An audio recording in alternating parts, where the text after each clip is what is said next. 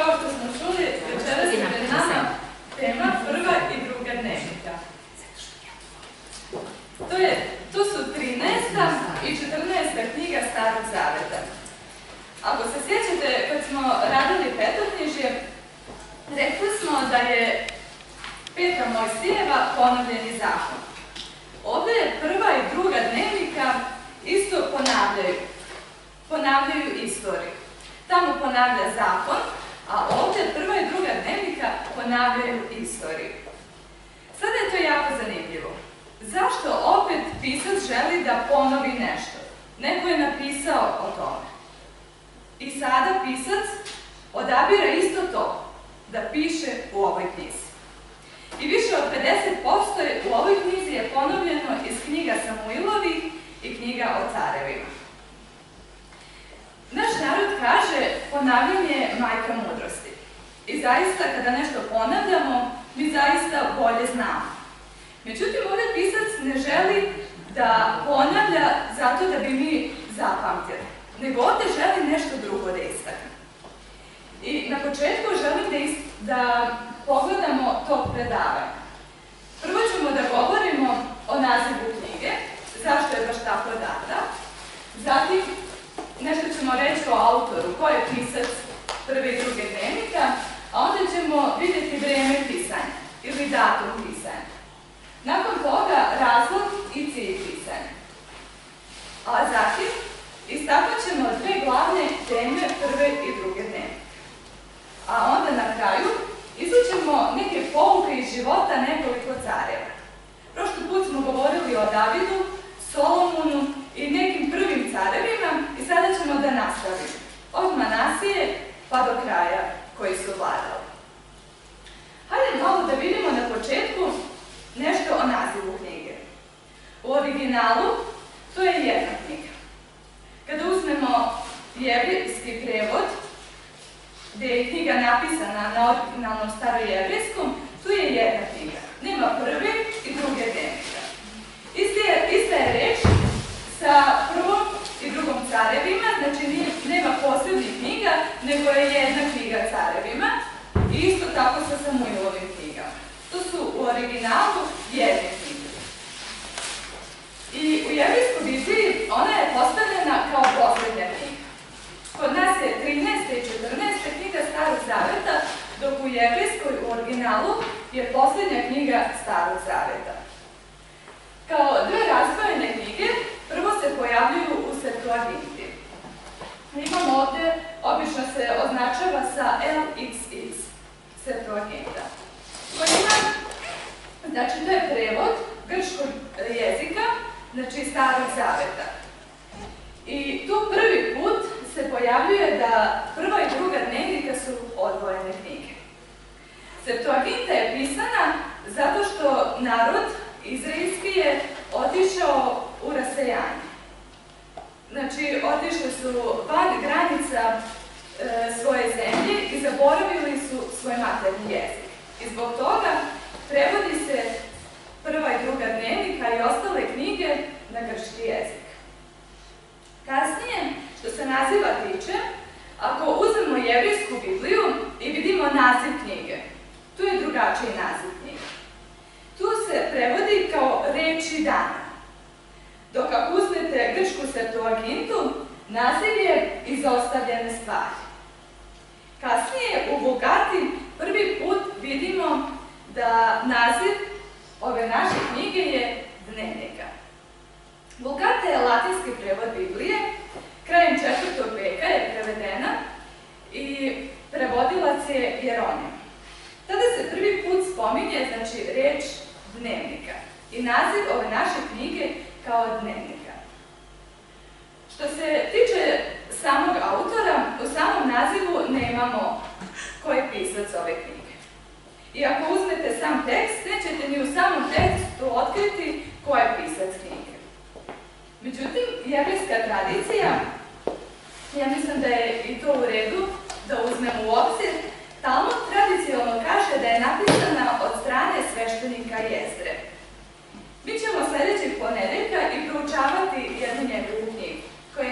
naslov knjiga proroka Jezra. To je jako zanimljivo kako komentatori žele da otkriju ko je pisac knjige iako nije navedeno u naslovu ili u samom knjizi. Ali možemo na osnovu određenih metoda da otkrijemo ko je pisac ove knjige. Na početku ćemo da gledamo sam stil pisanja. Onda ćemo gledati i tematiku Koja je tema prve i druge dnevnika i možda uporediti sa nekim drugim knjigama. I ako pogledamo prvu i drugu dnevniku i sledeću knjigu Jezrinu, možemo vidjeti da je isti stil pisanja, a zatim i ista tematika. Glavna tematika prve i druge dnevnika je hrana. Ako uzmete knjigu Jezrinu, takođe je glavna tema hrana. Očigledno knjiga je pisana iz svešteničke perspektive. Ka, ne znam da li je neko pročitao prvu i drugu dnevnika, bravo, svaka čast. Ove, I tu možemo da uvidimo da je glavna tema hrana.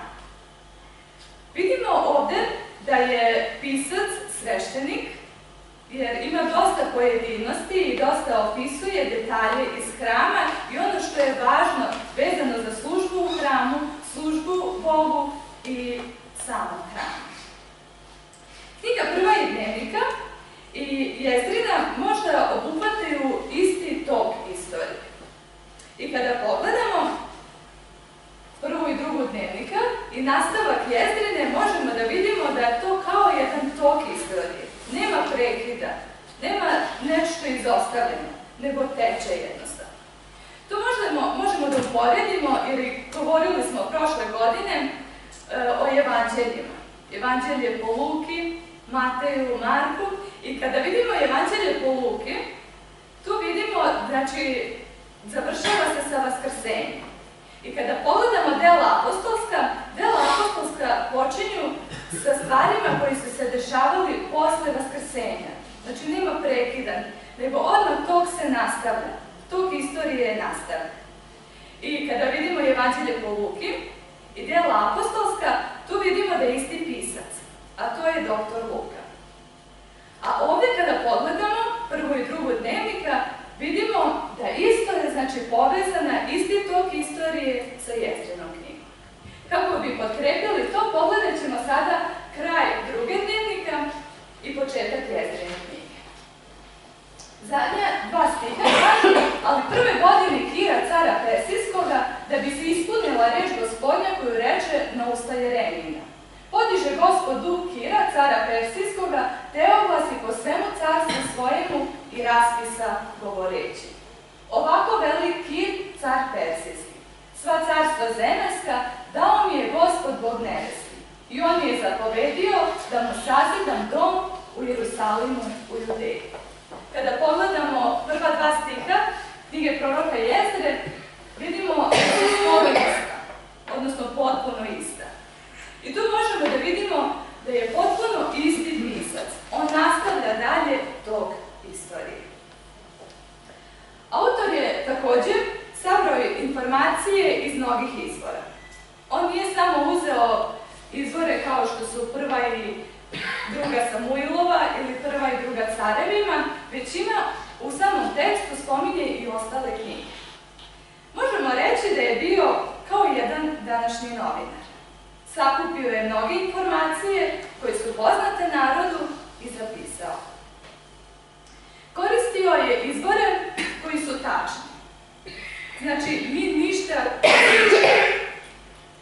Ajmo dalje da vidimo datum pisanja. Ja nisam stavila tačan datum pisanja jer ne znamo tačan datum pisanja. Ali na osnovu teksta možemo da zaključimo koje je, znači, vreme pisanja. Spominje se Zorobabel, onda za, zatim novac koji je korišten, Darix. Postavljamo da je to, znači, vreme kada je Vavilon pao, a Persija zavladala, jer Darix je persijski novac. Zatim dalje da vidimo razlog pisanja. Da spomenem usput, ovde imamo, znači, mnogo spomenuto o Davidu, o Solomonu, i znači to možemo da uklopimo u taj vek, peti vek. Zatim dalje razlog i cilj pisanja. Zašto ovde ponavljam? Zašto ovde Jezra odlučuje da ponovi nešto što je bilo već rečeno, što je svima jasno. Nema šta da se objašnjava. Pazite, oni su se vratili iz Vavilona, iz ropstva. I ja moram da kažem da je ovo bilo strašan, bio strašan period za jevrijsku naciju. Hram je srušen. Ono što su imali, znači od bogatstva da kažemo, od prijatelja koji su tu bili bliski. Neki su se raselili, nisu se vratili, ja se, do, ja se dolazi ne samo u porodici, nego i okolo. Nema ništa, sve je porušeno. I sada Jezdra želi da ih ohrabri. Ali samo taj jaz možemo da vidimo i u psalmu koji su oni pevali. Kaže, na vodama babilonskim seđe smo i plaka smo, opominjući se Siona. O vrbama sred njega vešto vrati svoji. Oni iskaku koji nas zarobiše da pevamo i koji nas oboriše da se veselimo. Pevajte nam pesmu Sionsku. Oni odgovaraju kako ćemo pevati pesmu gospodinu u zemlji tuđoj. Ako zaboravim tebe, Jerusalime, neka me zaboravi desnica moja. Oni su bili u takvom stanju dok su bili u Vavilonu. Kad su vratili se u svoju zemlju, to je bilo sve porušeno. Nema ništa. I možemo da osjetimo tu tugu i taj bol koji su oni osjećali. Strašno je doživjeti robstvo u Vavilonu. To je, se ne, to je desilo se nešto što je jako bilo strašno. Izgubili su državu koju su vjekovima imali. Hram, što je bilo za njih nešto najvažnije, sada nema. Hram je inače ponos jevreja. I kao što je kolega Pavle pre možda dva ili tri puta govorio koliko je važan bio hram za jevreje. I koliko oni i sada sa oduševljenjem pričaju o hramu. Drugi narodi su se takođe naselili u njihovu zemlju, na njihovoj teritoriji. I sada nemaju više ni tu slobodu kao što su pre imali. Oni su došli na prostor Izraela i jedno pitanje je bilo uvek u glavi. Da li je Bog još uvek sa nama? Bili smo u Babilonu, bili smo i u svojoj zemlji. Nismo bili dobri. Klanjali smo se idolima. Otišli smo tamo i videli smo da tamo narod služi idolima i da ne, ne poznaje pravoga Boga. A da li Bog naš još nas poznaje? Da li se On seća nas? Da li On želi još da nam pomogne? I još jedno ključno pitanje, da li su oni još njegov izabrani narod? Pazite, oni su bili u, u Babilonu 70 godina.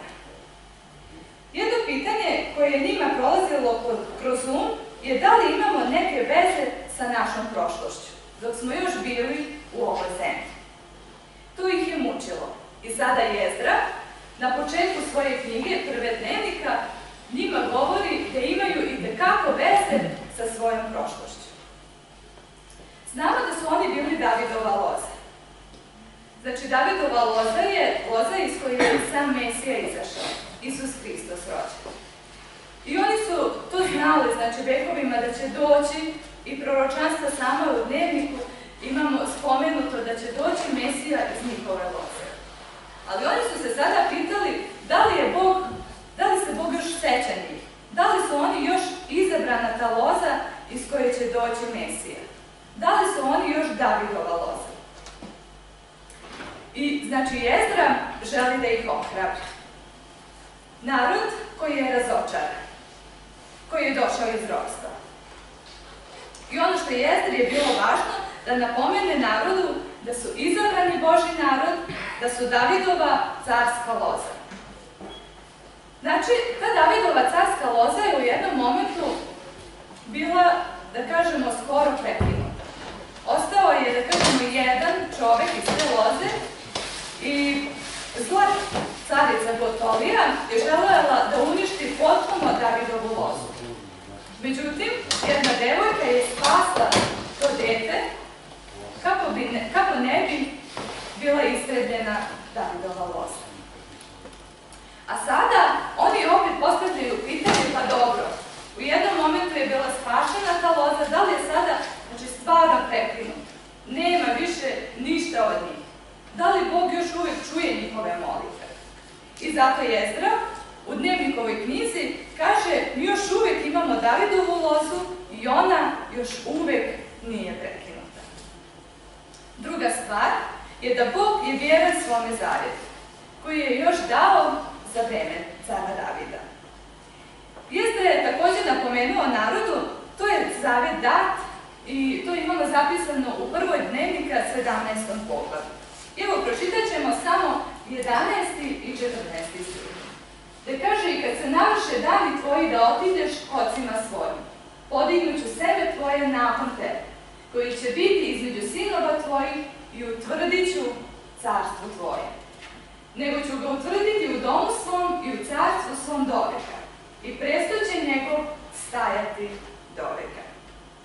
Očigledno da se ovdje misli na Mesiju, na spasitelja čiji će presto biti doveka. Ali ovdje je reč da Bog nije ostavio svoj narod, da carstvo će opet podignuti, neće prestati. E sada, ovdje je jako bitno, knjiga je učinila da prošlost je bolna lekcija sadašnjosti. I oni su mogli da nauče nešto. I imamo ovdje tri razloga zašto su oni otišli u ropstvo. I ova tri razloga su oni dobro, dobro naučili. Prvi razlog zašto su otišli u ropstvo je bilo idolopoklonstvo. Znači, nisu više, više poštovali pravoga Boga, nego su se klanjali idolima, znači kipovima drugih bogova. Zatim, sljedeći razlog zašto su otišli u ropstvo je brak sa neznabošcima. Bog je jasno rekao u petoknježju da se ne žene i ne udaju sa ljudima drugog naroda. A sa druge strane je bilo i nedostatak jedinstva. Tu su bile tri stvari. Ono što možemo da pohvalimo narod koji se vratio iz ropstva jeste da nisu se više klanjali drugim idolima. Nije bilo idolopoklonstva. Ali pazite, daleko su oni od savršenosti. Ako pogledamo Isusovo vreme, kasnije oni su bili sami sebi idol. Oni su sami sebe obožavali, da kažem. Oni su bili najbolji. Pogledamo samo, znači, da kažemo, elitu jednog naroda, fariseje. Oni su sami sebe obožavali, najbolji su. Samo su obraćali pažnju na sebe. Ono što je važno i danas, kada spominjemo idol, idolopoklonstvo. Možda kažemo, pa dobro, nema toliko danas idola od kamena i drveta i ne klanjamo se, molimo se pravom Bogu. Međutim, ne zaboravimo da u našem životu idol može biti svašta. Naprimjer, auto, novac, nešto što je nama drago, možemo reći za mlade moda, možda nekada i pornografija, neke stvari koje staju na mesto između Boga i mene. Mobilni. Mobilni, također Facebook. Znači nešto na čemu provodimo više vremena nego u odnosu sa Bogom da, da prođe dan, a mi ne odvojimo vreme, da kažem ni pet minuta, da pomislimo na Boga, da se ne pomolimo ili možda da ne pročitamo ništa iz Svete Božje reči. Kada se vratimo u današnje vreme, kažemo oni su zapali stvarno u idolopoklonstvo. I ja nemam idole, sad smo nabrojili neke. Ali mogu reći kada usporedim ono vreme i danas, da su naši idoli mnogo opasniji nego njihovi. Jer oni kada su se vratili iz ropstva i možda su zatekli u nekim kućama idole, zatim u hramu samo zatekli su idole, oni su to sve očistili i sklonili sa strane. I tada su služili pravom Bogu. Nije ništa ih, da kažemo, nije im ništa odlačilo pažnju na nešto drugo. Dok nama danas nemamo te izole, ne možemo da ih potpuno sklonimo, moraju tu da budu i nama odlače pažnju. Možemo reći, nisu toliko uočljivi, ali to su idoli vaši i moji. Pazite, nije loše, kada sam spomenula, idol može biti novac. Nije loše imati novac. Nije loše imati ni dobar auto ali je loše ako to kvari moj odnos sa Bogom.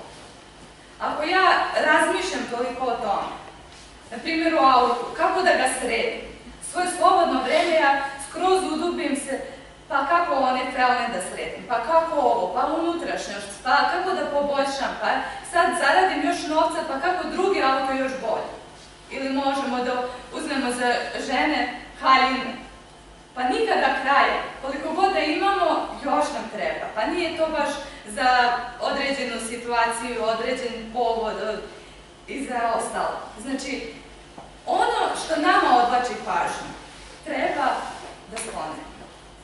E sada kada govorim ja o tome, pa dobro, nije meni ni novac problem, nije meni ni Facebook problem, nije meni ništa problem. Ali kada postavim se tako da kada prođe sve, prođe vreme kada mi dosadi auto, prođe vreme kada mi dosade i kaljine i onda ostetim prazninu u duši. A tu prazninu ne može ništa drugo da popuni nego sam Bog. A zašto ne bi od početka, iako imamo sve to, opet stavili Boga na prvo mesto? I pored svega što uživamo u nečemu, to nije loše, ali da pored svega imamo Boga u svom životu, a idole sklonemo sa strane. Možda jedna digresija. Pričala sam sa mojom drugaricom još pre nove godine, ona živi u Bosni i tako pričamo ka, čime se ona bavi, kako je sve prošlo, nismo se čuli dugo, kako je završila fakultet i sve. I ona mi priča Ovde u Bosni, kaže, osetim neki jaz u ljudima, neki strah.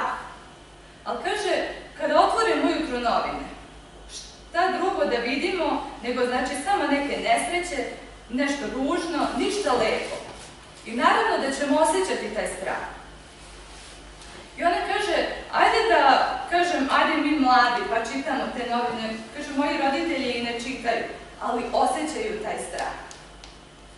I onda, me pita, onda me pita kako su tvoji. Ja kažem, dobro, jedino dede je sada loše i kažem, bila sam juče kod njega u bolnici i rekao, možda je to poslednji put kad sam ga videla sada, rekao, živoga, ali rekao, no dobro, imam nadu. I zaista je to bio poslednji put. Sutradan je moj deda preminuo. I rekao, iako, znači, možda sam poslednji put razgovarala sa dedom, ali doći će jedan dan kada ću videti moga deda. Rekao, ja verujem u vaskrsenje. Rekao, i tada će nestati svakog rastanka, nestaće svakog bola, svake patnje, svake suze. Ona me tako sluša i kaže, pa dobro, jer ti veruješ u vaskrsenje? Rekao, verujem. Kaže ona, pa verujem i ja i volim, znači, da vidim, i njena baka je umrla, kaže, voljela bi ja da vidim moju baku.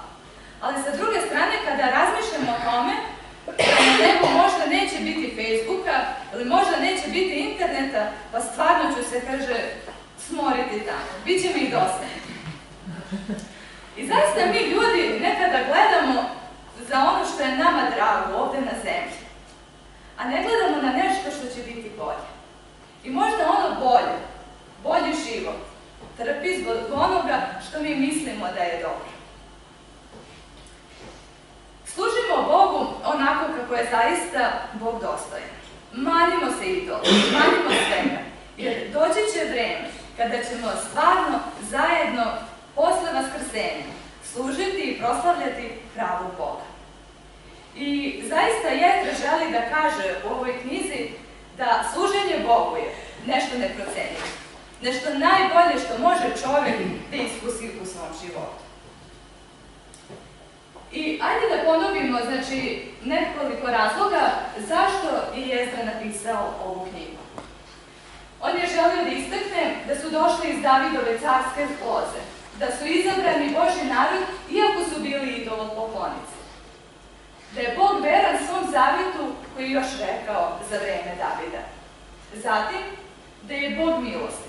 On želi da, da im ulije i vrati jednu nadu u Boga. Zatim, hajde da vidimo glavnu temu knjige dnevnika. Glavna tema knjige dnevnika je hram ili svetinja. Ovde možemo da zapazimo da knjiga izostavlja careve sebe. Znamo da u jednom momentu se carstvo podelilo na severno i južno carstvo. I da li se možda seća neko od prošlog puta gde je hram bio? Na severu ili na jugu? Na jugu. Severni carevi su odbacili hram.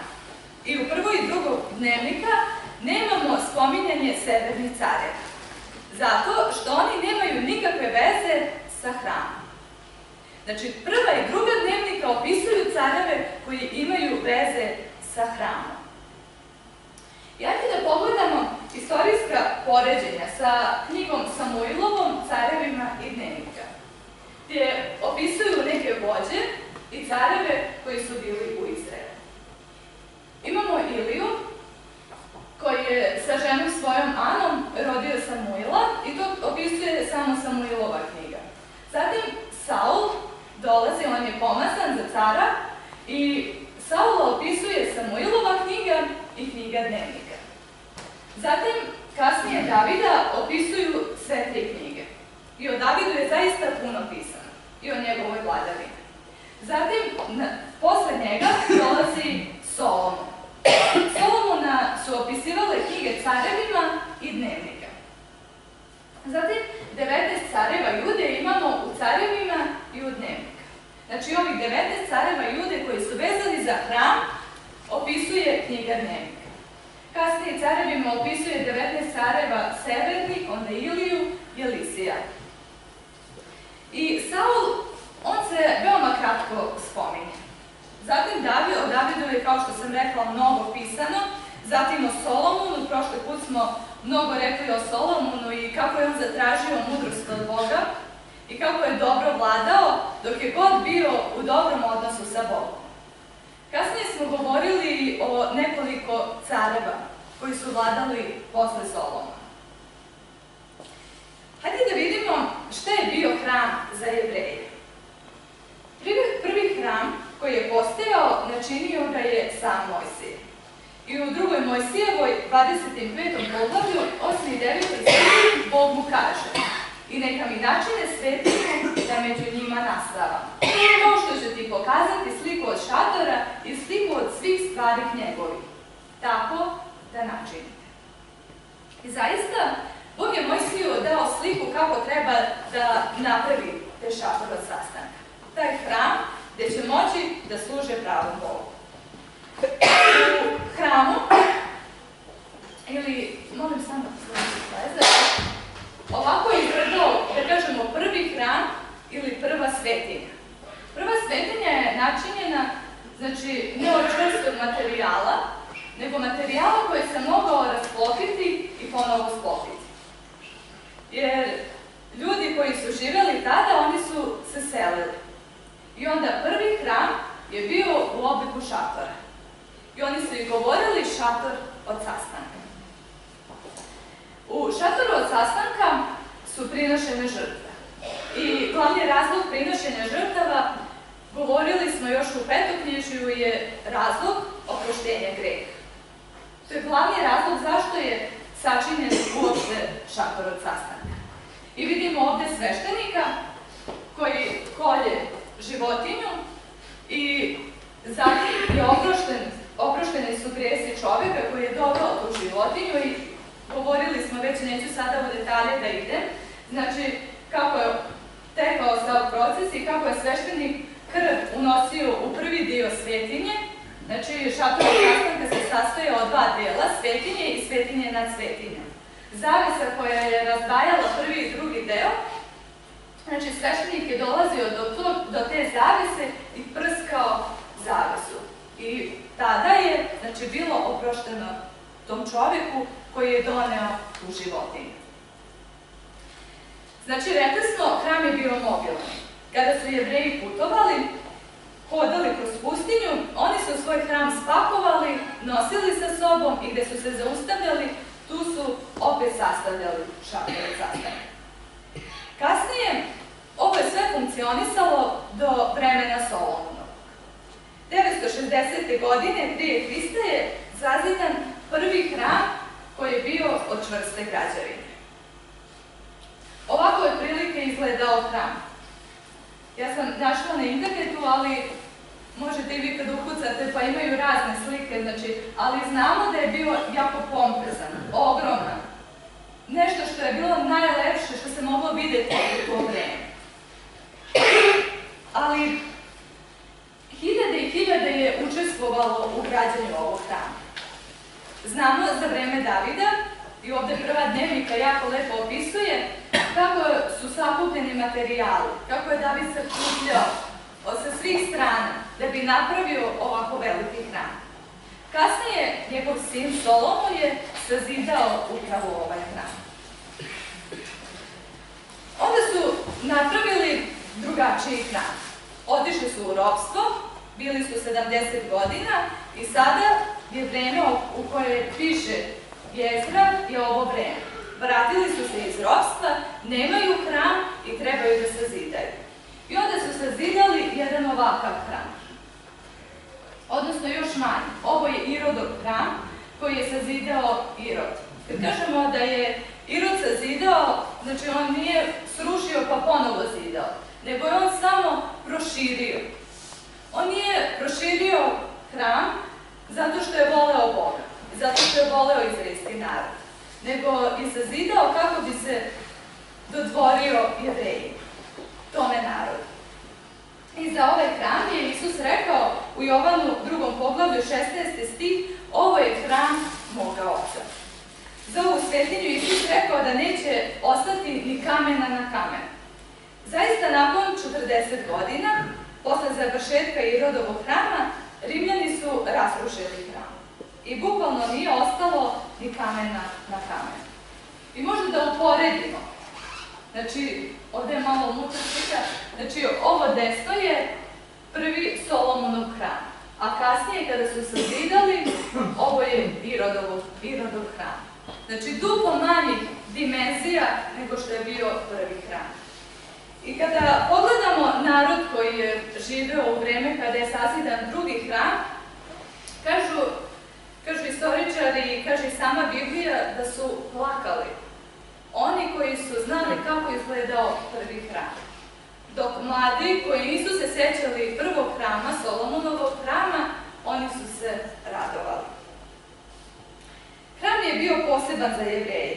Oni posle toga više nikada nisu imali hram. Prošlo je oko 2000 godina i više nema hrama. Pokušali su mnogo puta da sagrade hram, ali to je bilo bezuspešno. Danas postoji takozvani zapadni zid, ili, kako kažemo, još zid plača. Ovo nije zid svetinje, to je zapadni zid, zid oko dvorišta, a ne samoga hrama. I danas je to turistička atrakcija. Ljudi dolaze iz raznih zemalja, slikaju se pored njega, ali možemo reći da jevreji još plaču, jer nemaju svoj hram. Postoji jedno vjerovanje da se napiše neka želja na papiru i stavi se u pukotinu zida i da će ta želja biti ispunjena. Tako da jevreji kada su izgubili hram, to je velika bila tragedija za njih. Pazite, hram je bio mjesto prinošenja žrtava. Jer kada su oni prinosili žrtve, njima su gresi oprošteni. Ako nema gde da prinose žrtve, onda su oni u problemu. Da li će gresi i dalje biti oprošteni? Jevreji su tu komunikaciju sa Bogom na prvi pogled njima izgubili. Nema hrana. Da li će biti uopšte komunikacije sa Bogom? Zatim, i sama Božja prisutnost, da li je još tu sa njima? Daleko od toga da su oni verovali da Bog živi u hramu, ali su smatrali, ako je hram tu, tu je i Božja prisutnost. Kada su, čitali smo psalom na 137. Kada su otišli u Vavilon, oni su rekli, mi ne možemo da se molimo Bogu, jer hrama nema, nema Božje prisutnosti. I sada kada su se vratili iz ropstva, hrama nema, i onda se pitaju, dobro, gde je Božja prisutnost? Jezdra u prvom poglavlju spominje hram. Želi da spomene kako je Bog čudesno vodio njih u izgradnji prvog hrama, u sakupljanju, Opisao je detaljno Davidovo sakupljanje, onda građenje hrama. I kada je to sve ispričao, on je želio da im kaže, kao što je prvi hram bio sagrađen i drugi hram bit će sagrađen. Bog je još tu sa nama. Božja prisutnost je i dalje tu. I to je prva i glavna tema dnevnika, građanje hrana. A druga tema je poslušnost zakonu i prorocima. U vreme Jeremije, jevreji su otišli daleko od Boga, jer su smatrali, ako imaju hram, imaju Davidovu lozu, oni nema šanse da budu pokoreni. Bog je tu se njima i neće dozvoliti da niko ih ugnjeta. Međutim, oni su zaboravili na taj odnos sa Bogom. Zaboravili su Boga. Bog im je dao sve to, ali su oni zaboravili samog Tvorca. Poslušnost zakonima i zakonu i prorocima je važnije nego hrana. Važnije nego moje poreklo. Tako da često ne ilazimo u drugoj dnevnika da je poslušnost Bogu važnije nego išta. U prethodnim biblijskim knjigama je naglašena važnost poslušnosti zakona. Ovde Jezra navodi važnost i poslušnost prorocima. Oni koji govore kako je Bog vodio ih u prošlosti i oni koji govore kako će ih Bog i dalje voditi. Zato Jezra navodi u drugoj dnevnika 20.20 Čujte me judejci i jerusalimljani, verujte gospodu Bogu svojemu i bit ćete jaki. Verujte prorocima njegovim i bit ćete srećni. Ili možda bolji prevod, ovo bit ćete srećni, bit ćete uspešni. Iđete u napredak ako služite pravom Bogu. Oni su, se, oni, si, oni su uzdajući se u hram mislili da će napredovati. Međutim, Bog kaže Ako služite meni na pravi način, onda ćete napredovati. Ako prihvatimo Boži zakon, također ćemo biti mariljiviji na poslu. Bićemo bolji bračni drugovi. Neće biti preljubi. To je sve kada držimo Boži zakon. Bolja zajednica je tada. Tada smo i bogatiji, da kažem. Poštenije je drugo. Prva tema je hram, a druga je poštovanje Boga i njegovih proroka. Sada bih željela da se usredsredimo na nekoliko poslednjih careva i pogledamo isječke kratko iz njihovih života. Pošto smo o Davidu i Solomonu, rekla sam, mnogo govorili, ićemo od Manasije pa do kraja. Ma koliko govorili da smo mi objektivni u životu, i da gledamo stvari iz objektivnog ugla. Znači, da možemo da vidimo i kako se drugi osjeća i da ga razumemo i sve, ali mi smo ljudi subjektivni, zato što smo grešni. I gledamo uvek sebe na prvo mesto. Ma koliko gledali da kažemo, ok, ja gledam i drugog čovjeka i gledam i njegova osjećanja, gledam kako mogu njemu da pomognem, ali mi na prvom mestu gledamo sve. Kako se ja osjećam i kako ja vidim pogled na svet. I to je u redu. I jedino tako mogu da opišem i da razumem cara Manasiju, koji je bio, da kažem, jako lakom car. Volio je sebe. Volio je da upravlja narod, ali na način kako njemu odgovara. On je došao da caruje kada je imao 12 godina. Carovao je 55 godina. I hajde da pročitamo neke od stvari što je radio Manasije. Kaže, jer opet pogradi visine koje bješe raskopao Jezekija, otac njegov. I podiže oltare valima i načini lugove i klaneše se svoj vojsci nebeskoj i služaše ju. I načini oltare svoj vojsci nebeskoj u dva trema doma gospodnjeg. Kasnije kaže tekst da je činio gora dela nego što su činili narodi koje je Bog istrebio. Nakon toga odvodi ga asirski car u Babilon. I tamo je proveo u tamnici. I nema sumnje dok je provodio u tamnici vreme da nije malo razmišljao o svom životu. Šta je dobro radio u životu, a šta je loše. I kasnije u 15. i 16. stihu vidimo da je on dobro razmislio šta je dobro, a šta loše. I kaže tekst da je on pokajao i da je sve sklonio što je loše. Sklonio je sve lugove, sve bogove sklonio sa strane. I kasnije kaže da ga je Bog gledao onakav kakav on jeste. Onako kakav je on bio u tom trenutku. Kada je poklonio se pred Bogom i rekao Bože oprosti mi, kajem se za svoje grehe. I zaista to mi je predivna crta Božeg karaktera. Što je milostiv i što ne gleda kakvi smo mi bili u prošlosti. Jer mi gledamo ljude šta su oni radili u prošlosti. I prema tome ocenjujemo kakav je čovjek. Međutim, Bog nije uopšte takav. Bog je suprotno od nas. On ne gleda čovjeka šta je on radio u prošlosti, nego on gleda čovjeka onakav kakav je on sada. Šta je on sada odlučio? Da Manasija je odlučio da ne služi više drugim bogovima, nego želi da se vrati i da služi pravom Bogu i da tako vodi narod. Međutim, on je to odlučio pred kraj svoje vladavine. Posle njega dolazi njegov sin Amon. I čitajmo kakav je on bio.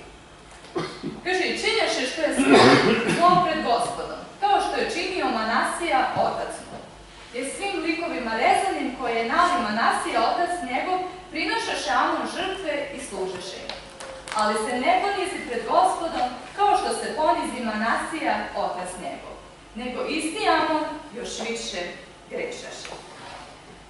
Što je još žalostnije, među onima koji su se našli, gde je bio znači Manasija car, našao se i njegov sin.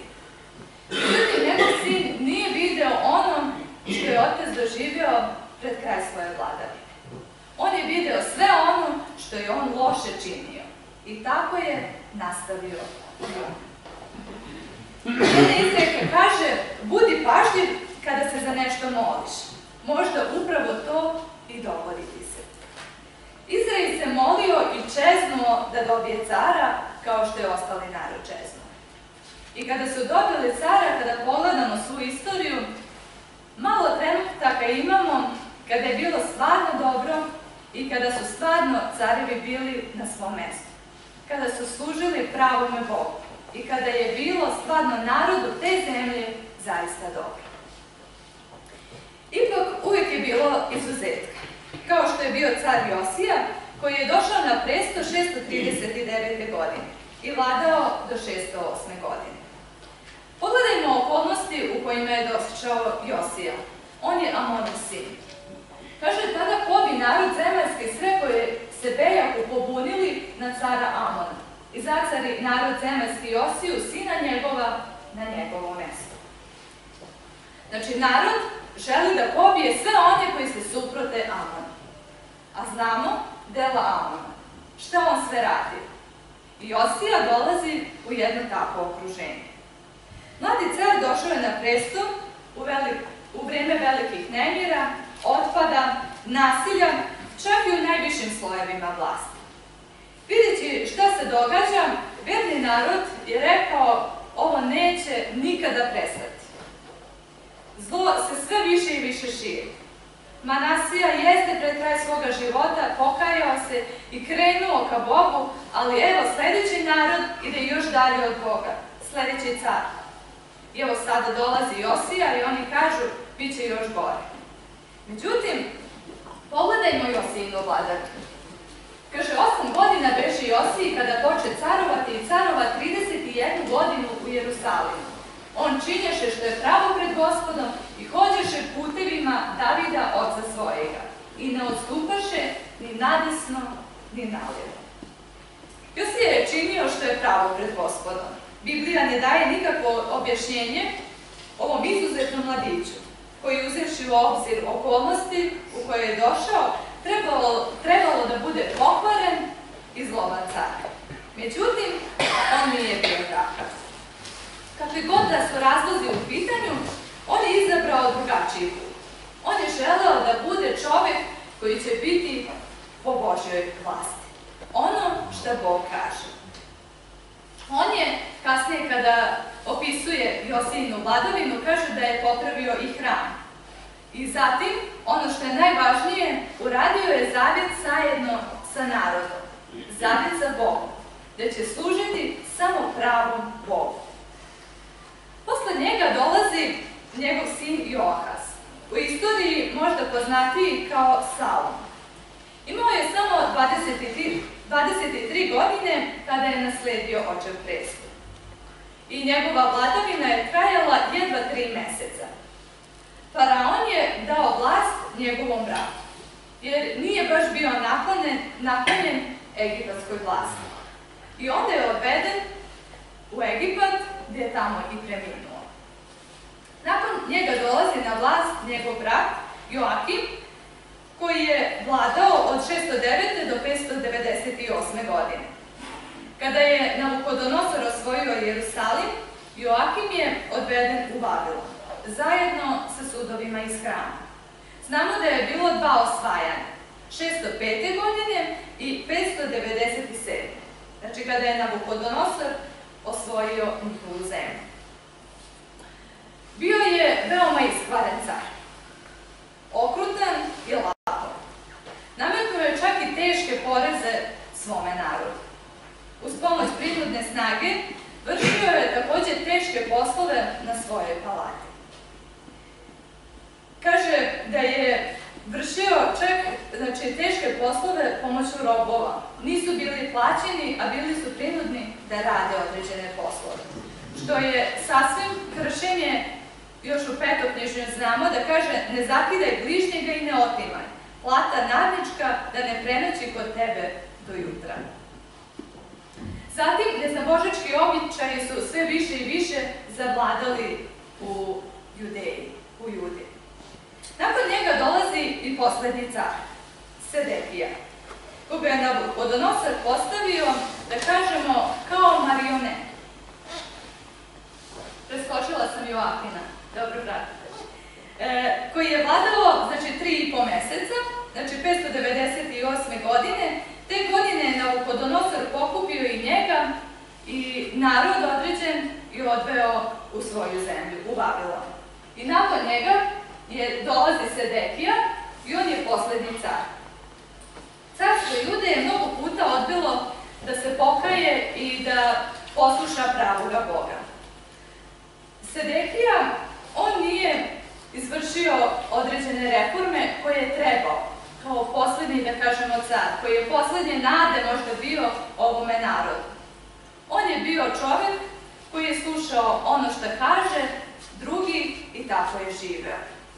I on nije dugo vladao, njega je odveo Babilonski car u robstvo i tu završava, da kažemo, vreme Južnog carstva, Jude.